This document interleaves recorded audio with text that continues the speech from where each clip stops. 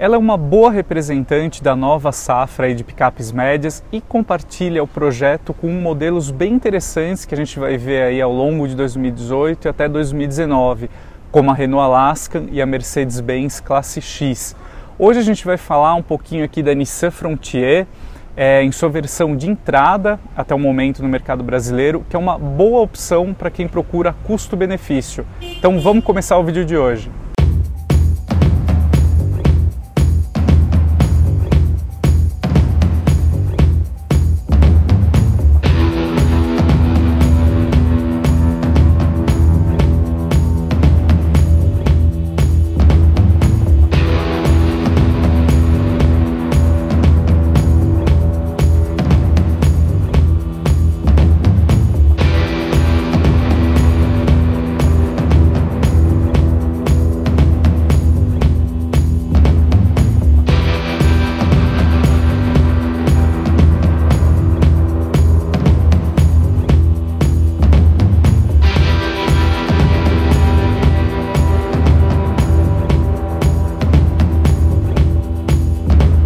Bom, amigos, como eu falei aqui na abertura do vídeo, a gente está aqui com a Frontier na versão SE.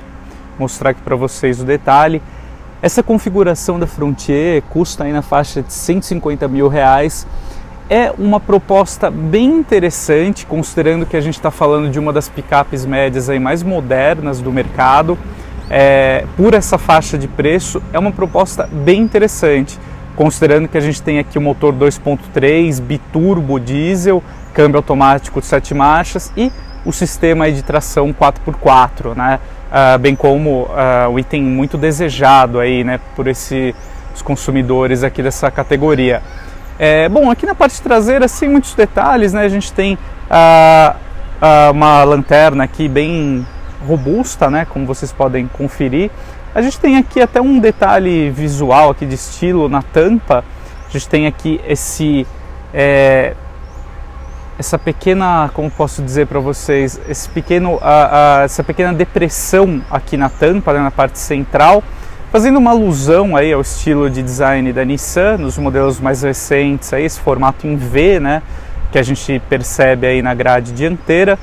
É, bom, partindo aqui para caçamba, Muita gente, obviamente, escolhe uma picape pela capacidade de carga, né, que pode encontrar aqui no compartimento. No caso da Frontier, que cabine dupla, a gente pode levar um pouquinho mais de uma tonelada de carga e também é, mais de mil litros aqui no compartimento, né? Compartimento muito bom, dentro aí da, da média do segmento.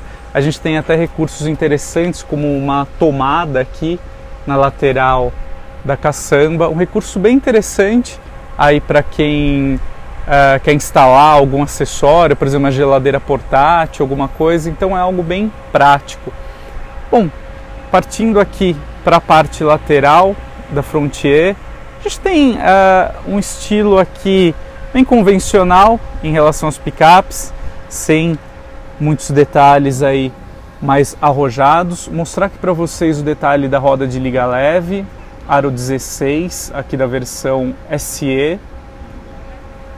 A gente tem também aqui maçanetas cromadas aqui na lateral, né? A nova geração da Frontier adota um estilo aí uh, bem tradicional das picapes médias, sem muito sem fugir muito aí do que a gente encontra aqui na categoria. Mostrar aqui para vocês para finalizar a parte dianteira uma boa presença de cromados aqui na grade dianteira, na parte superior aqui do farol. A gente tem aqui também farol de neblina, uma moldura cromada. Interessante dentro aí do que é esperado. É uma picape bonita, um porte avantajado, né, como é esperado, um carro desse tipo. O design de forma geral ela agrada.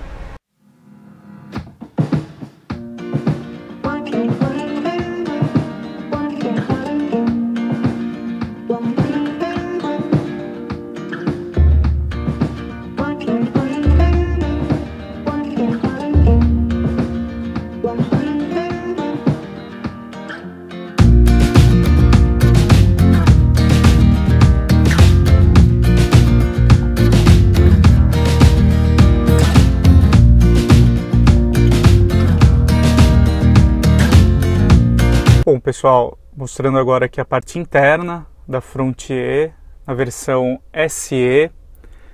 Olha, é, basicamente a gente tem um interior interessante até, você tem uma boa qualidade de montagem aqui da cabine, você não nota ruídos, é, o que é muito desejável em um carro dessa categoria.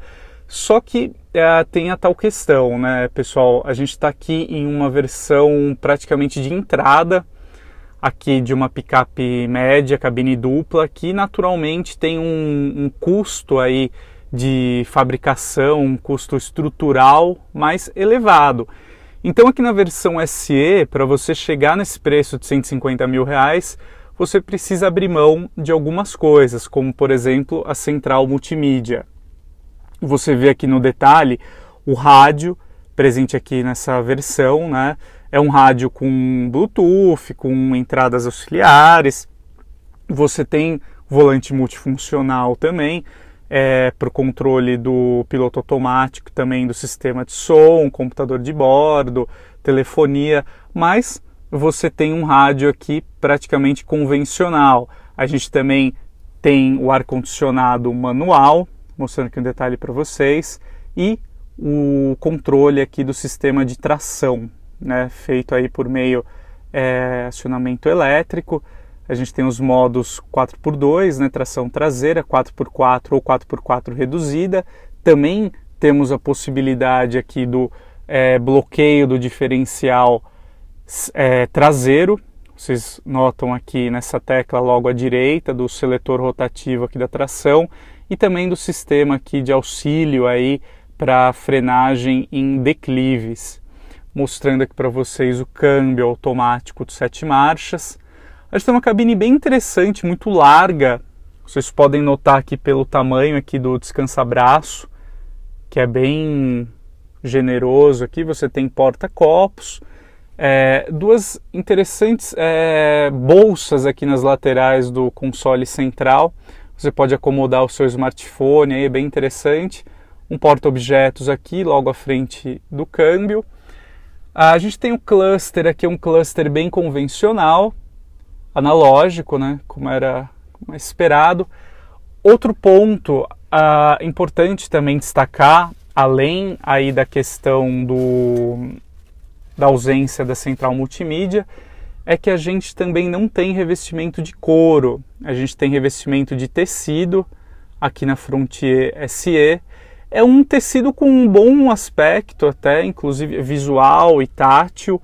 Lembra aqui como se fosse uma camurça, que é um revestimento bem interessante. Está presente aqui também no descansa-braço. É, no geral, uma cabine bem montada. Né? Você tem que abrir mão aí de alguns equipamentos para uma questão de preço, mas você ainda tem direito a alguns refinamentos aqui na Frontier SE. Você tem a chave presencial, o botão de partida, mostrar aqui para vocês um detalhe. Então é um conjunto até que interessante considerando o preço. Mostrando agora o espaço traseiro aqui da Frontier SE. A gente tem um bom espaço aqui para as pernas, né? Para o joelho dos passageiros em relação ao encosto do banco, seja do motorista ou do passageiro. É, você tem até mesmo um porta copos aqui na parte central, você pode levantar essa estrutura né, para acomodar o pé aí com maior conforto. De qualquer maneira, você tem uma questão aqui na parte traseira da Frontier que você fica com as pernas um pouco flexionadas, passageiros mais altos, né? Ah, isso incomoda um pouquinho em deslocamentos mais longos, mas de qualquer maneira o espaço é bom. O banco traseiro aqui também não é muito vertical, então ajuda um pouquinho no conforto, mas você vai ter essa questão do joelho um pouquinho flexionado aqui na parte traseira.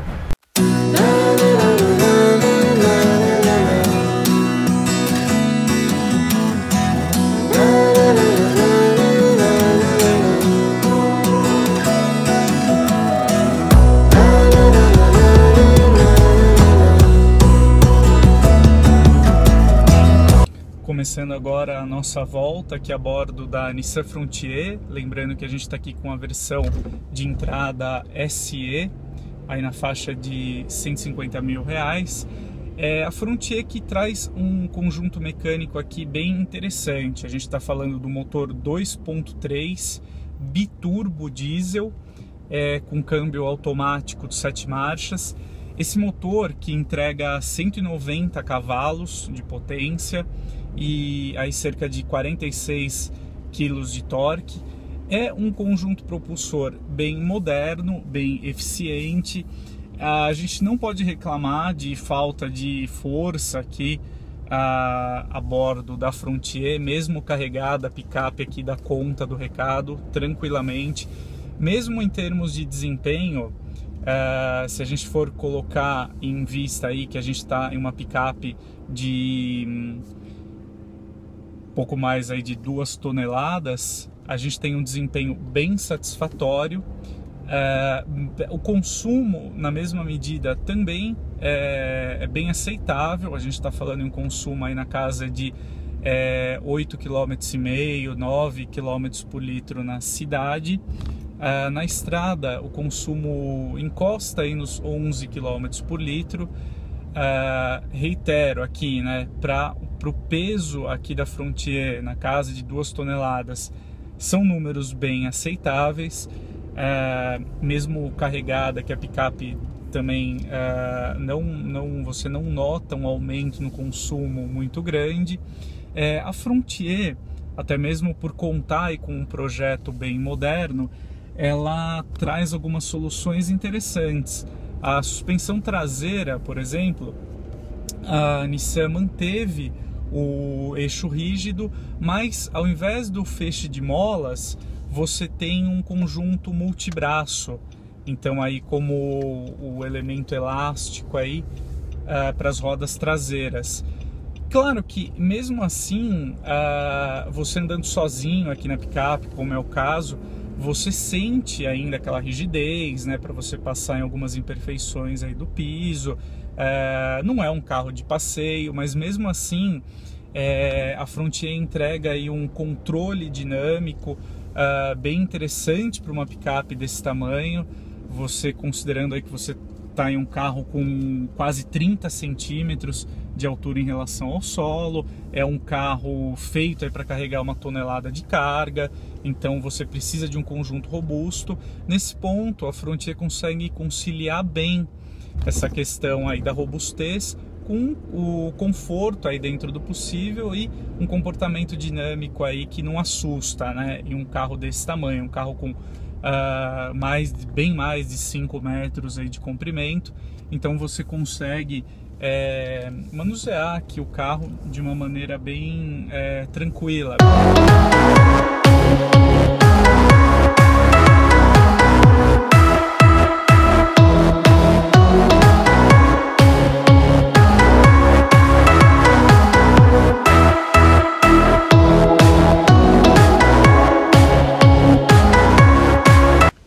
Isso aí pessoal, no vídeo de hoje a gente conheceu mais detalhes sobre a Nissan Frontier, aqui na sua versão de entrada, a SE 4x4 e para concluir aqui o nosso material de hoje, uh, vamos fazer aquela análise aí de mercado, ver se a picape vale ou não a pena, vale aí o seu dinheiro. Bom, é, considerando o custo-benefício aqui da Frontier, eu acho é, essa picape uma opção bem interessante, aí principalmente na faixa de 150 mil reais você é uma considerando que ela é uma das picapes mais modernas aqui do segmento, por essa faixa de valor, ela é uma opção bem interessante sim. Ela entrega aí o que se espera em termos de conjunto mecânico, né, o que o pessoal aí mais procura nessa categoria. Então, no caso, motorização diesel, câmbio automático, tração 4x4, por um preço muito competitivo aí, é, repito de novo, na faixa de 150 mil reais. É claro que para isso você tem que abrir mão de alguns equipamentos, por exemplo, uma central multimídia, revestimento interno de couro, mas na parte, vamos dizer assim, vital de uma picape, né, o conjunto mecânico, a Frontier está alinhada aí com o que há de melhor. Você tem uma boa capacidade de carga, é, seja na questão do peso, né, de até uma tonelada, ou volumétrica, para mil litros aqui na, na caçamba. Você tem uh, um conjunto mecânico aí seja em termos de rodagem, uh, dirigibilidade, muito interessante. Uh, por exemplo, eu gostaria até de destacar o bom diâmetro de giro que você encontra aqui na Frontier. Ela tem aí certamente um dos melhores entre as picapes. Você consegue fazer balizas uh, de uma maneira mais fácil, mais tranquila. Isso é muito importante porque uma picape média, cabine dupla, como é o caso, é um carro de grande porte. Uh, hoje você tem vagas aí cada vez menores, mais apertadas, então é interessante você ter um carro com esse tipo de solução. Então é o, a questão que eu coloco é essa: se você procura uma picape média mais avançada, mais eficiente e não quer gastar muito, a Nissan Frontier aqui na versão SE desponta como uma das melhores opções do mercado atualmente. É isso aí, pessoal. Espero que vocês tenham gostado do vídeo de hoje, tenha ajudado você aí na sua decisão, na escolha do seu próximo carro. Convido você também a assistir os outros vídeos aqui do canal e a gente se vê no próximo. Muito obrigado, um grande abraço, até mais. Tchau, tchau.